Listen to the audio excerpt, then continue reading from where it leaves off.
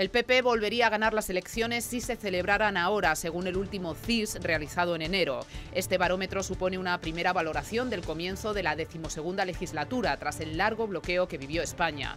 El Partido Popular se sitúa en el resultado que obtuvo en las elecciones de junio y modera esa fuerte subida que experimentó antes de la investidura. Y lo que pierde el PP parece ganarlo el Partido Socialista, que rompió todos los suelos con Pedro Sánchez al frente. Ahora cambia la tendencia socialista que parecía imparable. Unidos Podemos y sus marcas permanecen estancados mientras que Ciudadanos se mantiene. En el programa de hoy repasaremos dos encuestas más publicadas en los últimos días. En plena carrera de las primarias entre Pablo Iglesias e Íñigo Errejón, el líder de Podemos parece dispuesto a empujar a su número dos a dejar a un lado la política nacional para que se centre en la política municipal como candidato al Ayuntamiento de Madrid en 2019. Por su parte, el Partido Popular da por segura la continuidad de María Dolores Cospedal como secretaria general y a falta de la confirmación pública de Mariano Rajoy, ella también. Su deseo de permanecer en el cargo, pese a su nombramiento como ministra de Defensa, hace creer a la mayoría del partido que el presidente no se va a descolgar ahora con un no. Tarde para la ira de Raúl Arevalo ha ganado el Goya a Mejor Película, también el de guion original, dirección novel y Mejor Actor de Reparto. Enma Suárez ha hecho historia al llevarse los de Mejor Actriz Protagonista por Julieta y de Reparto por La Próxima Piel. Roberto Álamo por Que Dios nos perdone, Mejor Actor Protagonista. Y Un monstruo viene a verme fue la gran protagonista de la noche, sumó nueve galardones. Pero como ya es tradición en la fiesta del cine español, no faltaron reivindicaciones y algunas polémicas más allá de las concernientes al séptimo arte. La petición del Gobierno de Estados Unidos de suspender la paralización del veto migratorio ha sido denegada por la justicia federal estadounidense. El recurso fue presentado por el Gobierno de Estados Unidos ante el Tribunal de Apelaciones número 9, que actúa como Corte Superior de todos los estados del oeste del país. En él, los abogados del Gobierno pedían que se dejara sin efecto el bloqueo temporal dictado por el juez y así salvar el polémico decreto que ha dejado sin poder entrar al país al menos a 60.000 personas que tenían visados legales ya aprobados. Estos son algunos de los temas que recogemos esta semana en esa actualidad. Bien, pues vamos con las encuestas de la semana, empezando por el barómetro El CIS, según el cual el Partido Popular, de celebrarse actualmente elecciones, ganaría con un 33% y el Partido Socialista recuperaría 1,6 puntos desde octubre. Ahí lo están viendo con respecto, además, los resultados que se obtuvieron en enero. El Partido Socialista sube ese poquito más de punto y medio, Unidos Podemos se estanca en el 21,7%, pero sigue segundo y Ciudadanos se queda eh, ahí también paralizado en el 12,4%. Se consolida esa tendencia de subida del Partido Popular. Las novedades vienen con el incremento de apoyos del Partido Socialista, Ciudadanos no da grandes sorpresas, tampoco en el caso de Unidos Podemos. Vamos, si os parece, compañeros, y para que tengáis toda la información, incluso podamos poner en relación las diferentes encuestas y en cuanto mi compañero Ritzi en realización pueda poner la siguiente imagen, muchas gracias, ahí la tenemos, analizar también dos encuestas interesantes que han salido en estos últimos días, eh, la de GAT3 para ABC, que la están viendo en este instante, en porcentajes y también comparando los últimos resultados de fecha 5 de febrero de 2017 con los dos eh, anteriores, de la anterior encuesta y de los resultados de las generales del 26J. El bipartidismo se recupera, también según GAT3, tras los primeros acuerdos del Partido Popular y el Partido Socialista. Esa aproximación, eh, según GAT3, estará, estaría bien visto o bien vista por los votantes. Tampoco tenemos grandes sorpresas en el resto de formaciones. Y vamos por último con la encuesta de NC Report para la razón. 100 días de gobierno. Viene la valoración de Rajoy. El Partido Popular ganaría 20 escaños, mientras que la oposición bajaría. La única encuesta que todavía eh, asigna mayor caída al Partido Socialista. Eh, y en este caso sí se centra en hacer un análisis de estos primeros meses de Rajoy al frente del Ejecutivo después del larguísimo periodo de bloqueo político que hemos vivido. Como veis, compañeros, en este caso sí hay diferencias entre algunas encuestas, las dos primeras más coincidentes, en el caso de GAT3 con el CIS, NC Report aporta también eh, bueno, pues esa novedad con respecto al Partido Socialista y vuestras conclusiones, teniendo en cuenta todos los datos. Empezamos por quien queráis. César, que siempre eres el último, venga. Los últimos serán los primeros. Pues yo eh, creo que las encuestas estas están bastante acertadas, por lo menos por el ambiente que se respira incluso en la propia calle y en el mundo de la empresa. ¿no? Hemos tenido un, año sin gobierno, un año de un partido socialista que decía no es no, y que de hecho cuando el propio Partido Socialista ha sido capaz de quitarse del medio a ese obstáculo que era Pedro Sánchez, pues las encuestas le dan una subida normal, es una cosa muy normal. Los socialistas, al fin y al cabo, eh, es un partido que ya ha sido eh, ha presidido España y por lo tanto eh, sabe realmente cuáles son sus obligaciones y cuáles son realmente sus deberes en política. Y tenían un candidato que era un, tapón. Por lo tanto, me creo esa encuesta. Evidentemente, el Partido Popular se mantiene, ha bajado, baja un punto y medio, que es, importante, es un toque de atención que se tiene que dar a Rajoy y a su equipo de gobierno para que se den cuenta de que no todo es gratuito, sino que cuando una persona promete una cosa, por ejemplo, no subir impuestos y sube impuestos, pues la gente se, enfada. Entonces el señor Montoro convendría que de vez en cuando se mirase a mí mismo un poquito, ¿no? porque no podemos mantener siempre todo lo que se les ocurre a base de, subir impuestos. Yo creo que se recauda más incluso bajando un poquito, pero vamos, es un toque de atención por si acaso nos ve esta noche. A partir de ahí, eh, Podemos pues Podemos es una marca que cada vez es una marca de tantas marcas, como bien decías tú al, inicio, que lógicamente pues la gente eh, se enfada, son muchos gallitos en un gallinero, tiene una bronca tremenda. Eh, hoy incluso, en el día de grabación, para que no me regañes, salían en Facebook algo así como que Pablo le decía a Rejón, vete de, alcalde de Madrid y déjame en paz, que yo gobernaré, yo manejaré... Pero mientras pegaban carteles juntos y aludiendo siempre a la unión. Los también. Eh, sí, han hecho lo que han querido y se han ido de juerga, se han tomado unas copas, pero en política en primera división hay que jugar de otra forma. Entonces, eh, en todos los partidos las, las, cúpulas se discuten, se pelean, incluso se matan, se apuñalan, pero procura que el humo no salga de la casa, sino que la cosa se quede dentro. Pero estos tíos, como están acostumbrados a soltarlo todo en la calle, pues todos sabemos lo que está pasando en Podemos. En Podemos hay un follón tremendo hasta el punto de que había momentos en los que la gente decía, pero esto será un montaje y tal y bueno, esto no es montaje nada, esto se van a matar sí o sí, y por eso están cayendo como están cayendo. Y si hubiera elecciones ahora mismo, esas encuestas posiblemente en Podemos caerían mucho más, porque la gente de Podemos, que es socialista, se va a votar a un partido socialista. En este caso, eh, vamos a ver qué pasa con el Congreso, vamos a ver si al final se decide Susana en decir que sí o que no a lo que está pensando. Yo creo que va a ir que sí, pero bueno, que lo diga ya. Y Ciudadanos Ciudadanos pues eh, se mantendrá lo que pueda, es el que más, más o menos se mantiene, porque tiene sus electores, que son gente muy enfadada del Partido Popular, gente muy enfadada del PSOE, que hasta que no vean realmente eh, una, algo donde agarrarse, pues se quedan, mantendrán el voto donde está. Pero vamos, todos sabemos que la mitad de Ciudadanos es, de, es del PP. Pero tampoco le viene mal al PP que esté Ciudadanos ahí porque siempre es un enganche. Ahora mismo si sumaran serían a 180 y tanto entre los dos, por lo tanto siempre le puede venir bien ese... Antonio ese enganche. Es que después de... Hoy la polémica se centra en vosotros, ¿eh? si no quieres hablar, ya no hables. Después, muy, propio, muy propio de las dictaduras... de, Arturo Más. De Arturo Más o de César García, me da igual. No, si fuera yo presidente del gobierno, esto se arreglaba en 15 días. No me cabe la menor duda, ¿eh? porque tú irías con la vara en verde con la zanahoria, ¿no? No lo duda nadie. y tendrías asesores que en vez de hacerte hablar especulativamente, eh, perorarías de otra manera. Te contrataría yo a ti, te contrataría bueno, ya sabes que soy un buen negro y escribo... Eh, no, yo escribo como me manden, que yo tengo registro para todo. ¿Que ¿Quieres que te discurse de Pero entonces criterio poco. No, yo tengo mi Mucho registro, poco criterio. En, en todas partes hay negros, ¿verdad?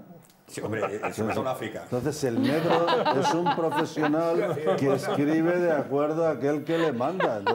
bueno, seriedad, venga, y nos vamos a centrar. Estamos hablando de encuestas y no de cómo andan los partidos políticos por dentro. es el reflejo de, los partidos, las encuestas. Bueno, no, las encuestas es, de enero, ¿no? Y digamos que ahora hay un, un, cierto mogollón porque están, el PP va a tener su congreso, el el Podemos va a tener también su congreso, esto lo llaman, o como llamen lo de Vista Alegre, el PSOE lo tiene en perspectiva, yo creo que las elecciones están muy cerca, todavía cuando se hizo la encuesta estaban a escasos tiempos de que el PP hubiera aterrizado en el poder con la ayuda inestimable de los que se estuvieron para que Rajoy alcanzara la presidencia, cosa que yo creo que ha pagado el PSOE en la bajada, en esa bajada con respecto a los porcentajes que tenían las elecciones, ¿eh? la abstención. Y, a mí lo que me extraña de estas encuestas es que, dada la situación eh, de que los otros partidos están un poco, digamos, sin orientación precisa, que el PP no aumente y que tenga en algunas de ellas una ligera caída. eso es lo que a mí me ha llamado la atención en, en la encuesta esta. En cualquier caso, yo esperaría hasta la de marzo, que es la, la, la FETEM para estas cosas.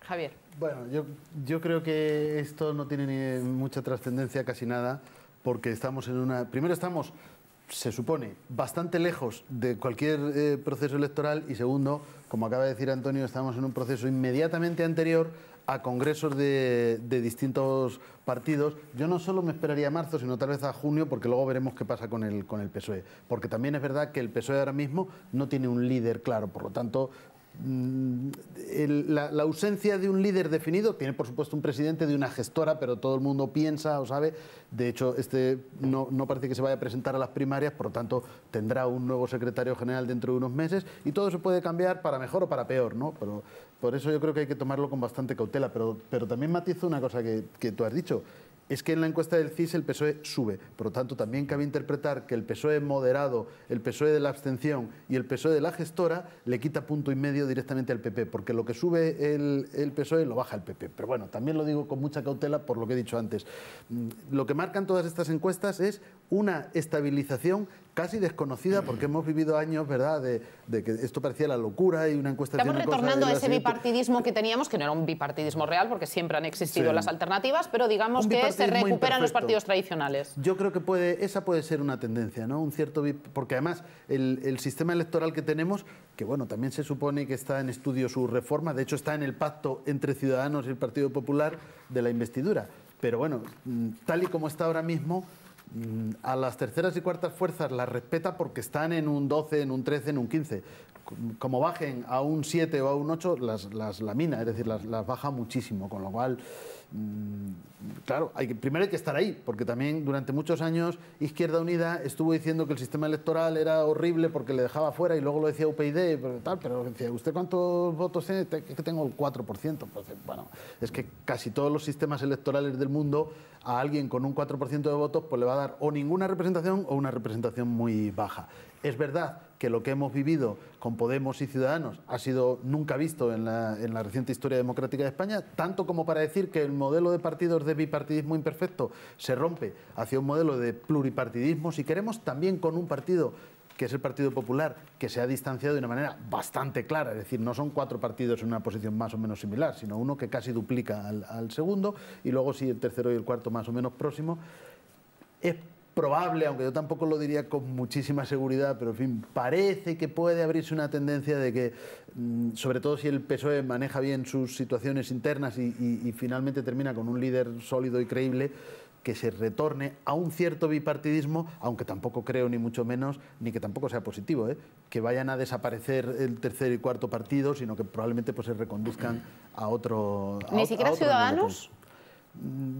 Vuelvo a lo mismo, si Ciudadanos se bajase a un 4 o un 5% de votos, prácticamente desaparece. Si se logra mantener en un, no el 12 actual, pero 10, 8, 9, pues tendrá una representación más, más significativa que la que tuvo UPyD, ¿no? porque UPyD fue un partido que tuvo su importancia y que ahora ya no nos acordamos, pero en su momento decíamos, parece que va a romper el bipartidismo, paradojas de la vida, no fue UPyD la que lo rompió, sino los que fueron sucesores y con aquellos que no se supo, que no se quiso entender Rosa Díez, por cierto, ¿no? porque si no tal vez pues eso, las cosas hubieran sido de una manera diferente. ¿no?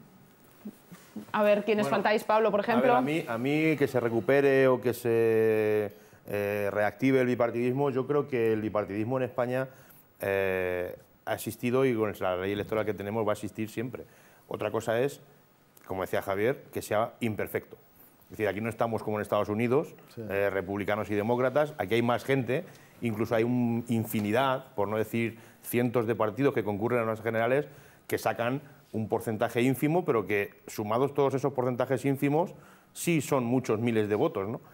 Por eso, a mí, eh, cuando dicen que el Partido Socialista ha bajado y demás. Las encuestas que yo, evidentemente, por la experiencia, experiencias últimas hay que poner siempre en cuarentena y más ahora, pues que parece que no hay ninguna perspectiva, ningún pensamiento profundo en cuanto a la iniciativa de voto.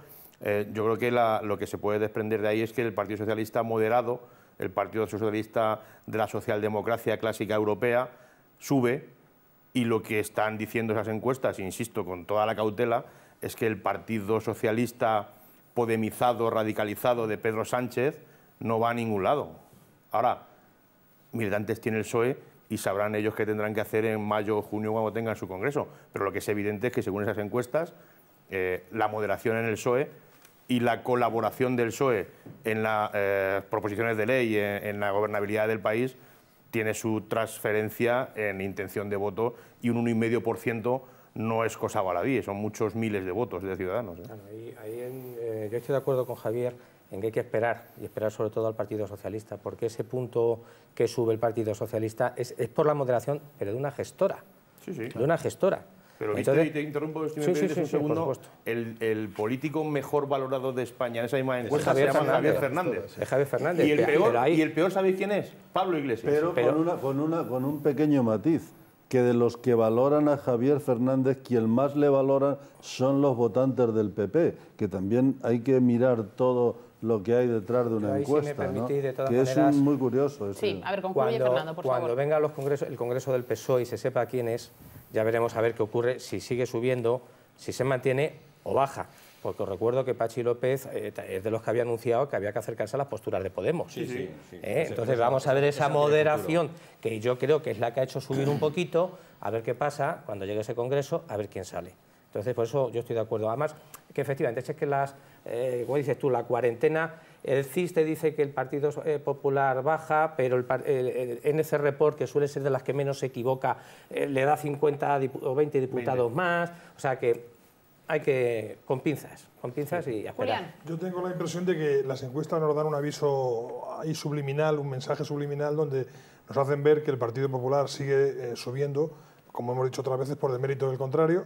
Eh, no digo que lo hagan mal, pero mm, sin duda ayuda muchísimo Perdón, Julián, eh, yo también lo he enfocado así en cuanto a que sube eh, su consolidación como primera fuerza y por tanto ganadora de las elecciones, pero realmente algunas encuestas de esta semana lo que hacen es por primera vez en la tendencia de muchos meses atribuir una bajada al Partido Popular precisamente en proporción al incremento que sufre también por primera vez el Partido Socialista. Pero sí es cierto que mm, la única eh, tendencia que ahora mismo permanece es... Sin duda el Partido Popular la primacía volvería a ganar de nuevo las elecciones si se sumara a Ciudadanos, que me parece un partido eh, light, de repente son socialdemócratas, ahora son liberales, luego quieren ser de centro. Yo liberales no sé. progresistas. Exacto. no, no, yo, no, el, votante, de, el votante de, Ciudadanos hace un acto de fe votando a Ciudadanos pensando que es seguramente el rechazo del Partido Popular, de su militante, al tema de la corrupción que parece que está pasando sin pena ni gloria. Es decir, es posible que el ciudadano, el votante del Partido Popular que se ha marchado a Ciudadanos, esté esperando que alguien vaya a la cárcel, que alguien devuelva lo robado, que alguien cumpla por lo que han hecho. eso lo esperan todos los españoles. Eh, Fernando, Fernando, Fernando, Fernando, pero yo, yo soy, yo te digo, yo me acerco muchísimo al Partido Popular y lo reconozco. Y yo quiero, como militante o, como simpatizante o como votante en algunas ocasiones, quiero que la gente que lo ha hecho mal lo pague. Los ciudadanos queremos que los que han robado, los que han metido la mano en la caja, eh, el presunto Rodrigo Rato, el presunto Martínez Pujalte, el presunto este de Cartagena, el presunto de no puede ser que pasen todos los días un caso de corrupción y que los ciudadanos atónitos miremos la televisión otro más.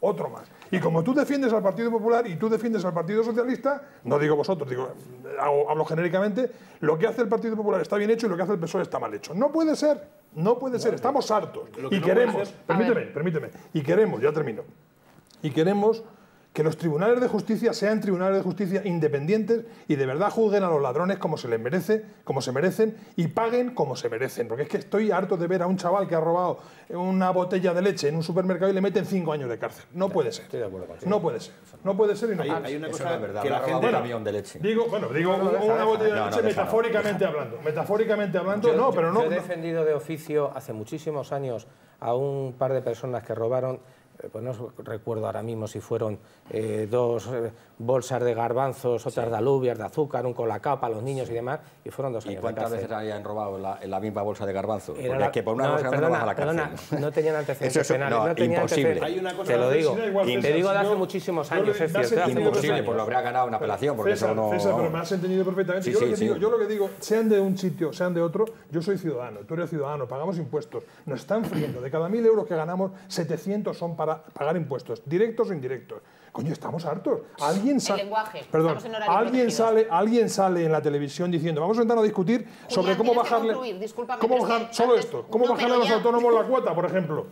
Hay una, hay una cuestión. No, no te des la vuelta para no hacerme caso. Por favor, ponte de frente a la cámara y disciplina. Pablo. Hay una cuestión la que culpa a mí, la tiene Antonio, que lo sepas, ¿eh? Que a mí me preocupa sobremanera y es eh, ponerle adjetivo a la corrupción. O ponerle un nombre al sujeto. La corrupción no tiene color. O sea, ¿puede ser corrupto un señor del Partido Popular? Claro. ¿Y, un y uno del Socialista? También. ¿Y uno de Ciudadanos? También. El corrupto es corrupto. A mí me da exactamente igual de qué color sea su carne. Por supuesto. Entonces, lo triste. Sea político o no sea político. Exacto, exacto. Pero es que tan corrupto es el señor que va a un médico y le cobra sin IVA como el político que hace cualquier guarretillo. Eso se llama corrupción social. Bueno, con el matiz del servicio público que ya nos atañe a los evidentemente, directamente pero, indigna pero yo no estoy hablando de servidores más. públicos, estoy hablando de corrupción. Y la corrupción puede ser en el ámbito público o en el ámbito privado. Entonces, cuando una persona se comporta así en el ámbito privado, si esa persona luego es elegida concejal, pues es complicado que en el, en el, ámbito público se comporte de otra manera. Es decir, que muchas veces exigimos a los políticos que, pues, poco más o menos, que vengan de Marte. No, no, es que los políticos salen de la Tierra. Y lo que es y lo que ocurre en la sociedad se transfiere a, los políticos. ¿Qué, ¿Hay que exigirle, como dice Alexia, bolsillos de cristal y transparencia absoluta? Evidentemente. Ahora, eh, los políticos son personas y si lo hacía de ser anónimo, pues es muy probable que lo siga haciendo cuando sea público. Pero, que salga, a ver, en orden, en orden. Pero que salga al rato, hombre. Es que, lo, que salga al rato, que ha sido ministro. ministro es que no, hay que personalizar. Pero a lo que dice dice un poco. Vamos a ver, que un tío vaya al médico y le pague sin IVA. Primero, los gastos médicos son sin IVA, pero bueno. No, no, he vamos dicho a, médico como hay un fontanero, como hay un comprar una cama y no paga el IVA. un abogado. A que el señor Rato, ministro de Economía, que podía haber sido presidente del gobierno en España, sea un sinvergüenza, joder, macho. Es que la gente que lo ve por la calle dice, tío, ¿qué pasa? por favor, por favor, por favor. Yo hasta que no le eh, un tribunal, yo no le digo que es un Presuntamente de momento, Antonio. Sí, en esta cuestión era por lo que tú decías, pero que te llama, te llama la atención que, por ejemplo, estos días salgan en los medios que unos se acusen en Valencia de que sí, que hemos llegado a un acuerdo con el juez y esta cosilla pues queda entre mi declaración y tu sentencia, yo rebajo pena y pelillos a la mano. ¿no? Bueno, pero es que eso Con lo cual eso la credibilidad, la credibilidad que me da la credibilidad que me da que un corrupto pague, pues es como ciudadano la credibilidad que esos esos casos que son estrictamente legales, quiero decir que yo no pongo en duda la legalidad de ellos, pero la, la, la, la cualidad ética de ese tipo de cuestiones a mí no me hace creer ni en la incorrupción ni en la justicia. Perfecto, pero ese mismo, ciudadano, ese mismo, ciudadano, que critica esa conformidad eh, con la petición de la Fiscalía en un tema de corrupción, luego cuando su abogado se la hace por una alcoholemia que ha dado positivo, le parece correcta. Y es el mismo procedimiento eh, en el ámbito judicial, el mismo. Bien, nos tenemos que ir, ya sabéis, el procedimiento nuestro. Paraditas obligatorias para publicidad muy interesantes. Así que no se marchen porque enseguida volvemos todavía en el ecuador del programa con la mitad por delante y además os veo hoy vehementes. Eh, hubo algún comentario eh, semanas anteriores de personas que se extrañaban por la comunión de ideas que primaba en este programa. Bueno, yo siempre defiendo que es un programa distinto, que no es un debate y que el objetivo no es polemizar y mucho menos entre los diferentes analistas. Pero desde luego hoy no será el caso. Hoy vamos a satisfacer a aquellos que quieren ver opiniones contrapuestas. Así que regresamos. Hasta ahora.